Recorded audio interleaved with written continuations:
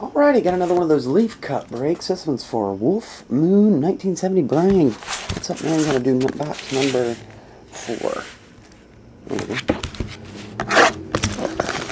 Haven't seen too many one-on-ones yet, just two. Said that in the last video, and dang if they weren't popping out everywhere. Not a one-on-one. Who is that? Lee MacPhail, a Baseball Hall of Fame, 12 of 29. Hall of Fame 9080 inscribes it.